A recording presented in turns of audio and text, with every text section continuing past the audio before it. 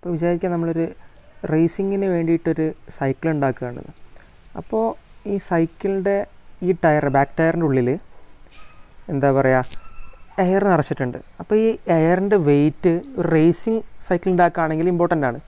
അപ്പോൾ നമുക്ക് ഈ ടയറിന്റെ ഉള്ളിലുള്ള പ്രഷർ എയർ പ്രഷറും ഈ ടയറിന്റെ വോളിയൂം അറിയുകയാണെങ്കിൽ എങ്ങനെ ഈ ടയറിന്റെ ഉള്ളിലുള്ള എയറിന്റെ വെയിറ്റ് കണ്ടുപിടിക്കാം? ഇതിനൊക്കെ നമുക്ക് സ്റ്റീം ടേബിൾ ആവശ്യമാണ്. എയറിന്റെ കേസിൽ സ്റ്റീം ടേബിൾ നോക്കാൻ പഠിക്കുന്നതിന് മുന്നേ നമുക്ക് എന്താക്കാം വെള്ളത്തിന്റെ കേസിൽ എങ്ങനെ സ്റ്റീം ടേബിൾ നോക്കാമെന്ന് പഠിക്കാം. ഓക്കെ. അപ്പോൾ വിചാരിക്കുക ഞാൻ ഒരു ഗ്ലാസ് നിറച്ച് വെള്ളം വെച്ചിട്ടുണ്ട്.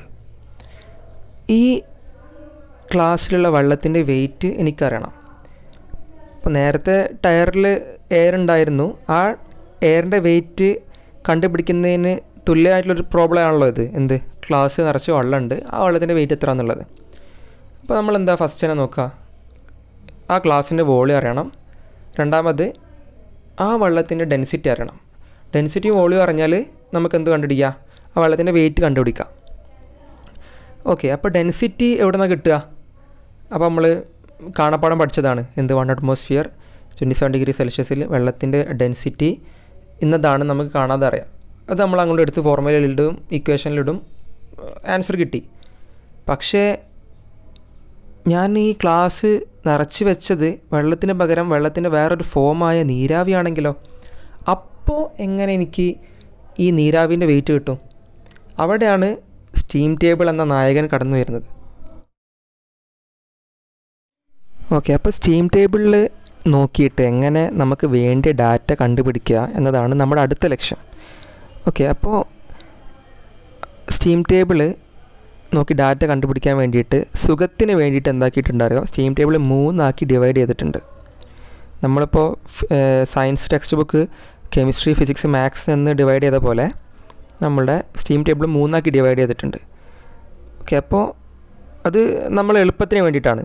ഈ മൂന്ന് സാധനങ്ങൾ എന്തൊക്കെയാണെന്ന് അറിയണമെങ്കിൽ വാട്ടറിന്റെ കേസിലാണ് അതൊക്കെ പറയുന്നത്. വാട്ടറിന്റെ കേസിൽ സ്റ്റീം ടേബിൾ മൂന്നാക്കി നമ്മൾ ഡിവൈഡ് ചെയ്തിട്ടുണ്ട്. അപ്പോൾ ഈ മൂന്ന് എന്താ എണ്ണ എന്താണെന്ന് അറിയാൻ വേണ്ടിയിട്ട് നമ്മൾ വാട്ടറിനെ കുറിച്ച് ഒന്ന് ചർച്ച ചെയ്യണം. വെള്ളം എന്ന് പറയുന്നത് ശരിക്കും നാല് ഫേസിൽ നമ്മൾ കാണാറുണ്ട്. അല്ലെങ്കിൽ നാല് രൂപത്തിൽ നമ്മൾ കാണാറുണ്ട്. ഒന്ന് സാധാരണ പൈപ്പിലും ഷവറിലൊക്കെ കാണുന്ന ലിക്വിഡ് വാട്ടറാണ്. ഇതിന് നമ്മളൊരു പേര് വിളിക്കും ഓമന പേരിട്ട് വിളിക്കുന്നത് കംപ്രസ്ഡ് വാട്ടർ എന്നാണ് കംപ്രസ്ഡ് എന്നാണ് വിളിക്കാറ്. രണ്ടാമത് ഐസാണ് പക്ഷേ ഐസ് നമുക്ക് പ്രാക്ടിക്കലി ഇൻട്രസ്റ്റ് ഇല്ലാത്തതുകൊണ്ട് അതിന് നമുക്ക് കൂട്ടത്ത് കൂട്ടണ്ട. അപ്പോൾ ഐസ് വേണ്ട. അപ്പോൾ ഒന്ന് കംപ്രസ്ഡ് വാട്ടറാണ് രണ്ടാമത്തേത് നമ്മൾ തിളപ്പിക്കുമ്പോൾ ഒക്കെ ഉണ്ടാവുന്ന ഒരു ഫോം ഉണ്ടല്ലോ. ഈ വെള്ളവും നീരാവിയും കൂടി ഒത്തുചേർന്ന് ഉള്ളൊരു ഫോം ആ അതാണ് രണ്ടാമത്തെ ഫേസ് അതിന് പറയുന്ന പേര് സാച്ചുറേറ്റഡ് വാട്ടർ വേപ്പർ എന്നാണ്. അപ്പോൾ ഇതാണ് രണ്ടാമത്തെ ഫേസ് മൂന്നാമത് ഒരു രൂപത്തിലും കൂടി വെള്ളത്തിനെ കാണപ്പെടാറുണ്ട്. മൂന്നാമത്തെ രൂപം എന്താ വെച്ചാൽ നമ്മൾ ആ വേപ്പറ നല്ലോണം ചൂടാക്കി കഴിഞ്ഞാൽ ഒരു ചൂടുള്ള ഒരു നീരാവില്ലേ? അതായത് വള്ളം ഉൾപ്പെടാത്ത നല്ല ചൂടുള്ള നീരാവി. അതിന് പറയുന്ന പേര് സൂപ്പർ ഹീറ്റഡ് വാട്ടർ വേപ്പർ എന്നാണ് അപ്പോൾ ഐസിനെ മാറ്റി നിർത്തി കഴിഞ്ഞാൽ മൂന്ന് ഫേസിൽ നമുക്ക് വാട്ടറിനെ കാണാം. ഒന്ന് കംപ്രസ്ഡ് രണ്ട് സൂപ്പർ ഹീറ്റഡ് വാട്ടർ വേപ്പർ മൂന്ന് saturated water vapour region okay അപ്പോൾ ഇങ്ങനെ മൂന്നായിട്ട് നമ്മൾ വെള്ളത്തിന് തിരിച്ചിട്ടുണ്ട്. ഇനി ട്വിസ്റ്റ് എന്താ വെച്ചാൽ സ്റ്റീം ടേബിളിനെയും ഇതേമാതിരി തന്നെയാണ് നമ്മൾ മൂന്നാക്കി ഡിവൈഡ് ചെയ്തത്. എത്രയും അറിഞ്ഞ സ്ഥിതിക്ക് നേരത്തെ നമ്മൾ കണ്ട വെള്ളം നിറച്ച ഗ്ലാസ് പിന്നെ നീരാവി നിറച്ച ഗ്ലാസ്സിലൊക്കെ എങ്ങനെ സ്റ്റീം ടേബിൾ നോക്കി ഡാറ്റ കണ്ടുപിടിക്കാമെന്ന് നമുക്ക് വേഗം നോക്കാം. വെള്ളം ഗ്ലാസ്സിൽ നിറച്ച് വെച്ച കേസിൽ അത് കംപ്രസ്ഡ് ആണല്ലോ. കംപ്രസ്ഡ് എന്നാണല്ലോ അതിന്റെ പേര്. അപ്പോൾ നേരെ സ്റ്റീം ടേബിൾ പോവുക കംപ്രസ്ഡ് വാട്ടറിന് ടേബിൾ എടുക്കുക.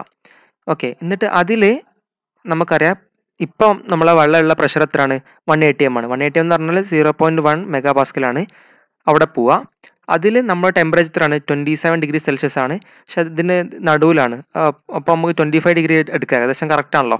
അപ്പോൾ ട്വന്റി ഫൈവ് ഡിഗ്രി സെൽഷ്യസിൽ നോക്കുക. അതിന് നേരെ ഇതാ ഇതാ ഇതാണ് ഡെൻസിറ്റി ഇവിടെ കിടക്കുന്നുണ്ട് കേട്ടോ അപ്പോൾ നമുക്ക് ഡെൻസിറ്റി ഡയറക്റ്റ് കിട്ടിയില്ലേ?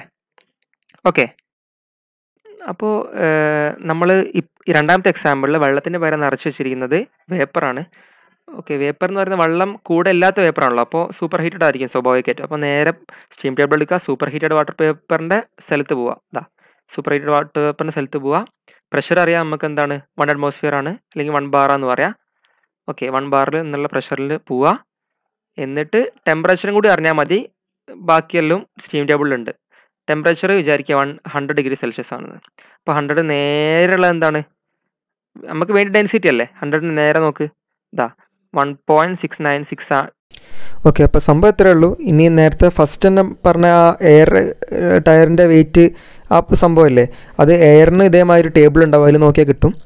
ഓക്കെ അപ്പോൾ എന്താ പറയുക വാട്ടർ ബേസിക് ആണ്. അത് പഠിച്ച് മനസ്സിലാക്കി കഴിഞ്ഞാൽ ബാക്കി ഏതും വാട്ടറിന്റെ ഏകദേശം അതേമാതിരി തന്നെയാണ്. ബാക്കിയുള്ള സംഭവങ്ങളൊക്കെ അമോണിയ ആവട്ടെ ബാക്കി റെഫ്രിജറന്റ് ആവട്ടെ ഒക്കെ ഏകദേശം വാട്ടറിന്റെ അതേ ഒരു സ്വഭാവമാണ് കാണിക്കുക ഓക്കെ അതിനും സൂപ്പർ ഹീറ്റഡ് ഉണ്ട് കംപ്രസ്ഡ് ഉണ്ട്. പിന്നെ മൂന്നാമത് ആ സാധനമുണ്ട്. ഓക്കെ അപ്പോൾ വള്ളത്തിനെ നമ്മൾ സ്റ്റീം ടേബിൾ നോക്കി പഠിച്ച് പഠിച്ചു കഴിഞ്ഞാൽ ബാക്കിന്റെത് നോക്കാൻ വളരെ എളുപ്പമാണ്. Okay thank you guys thank you very much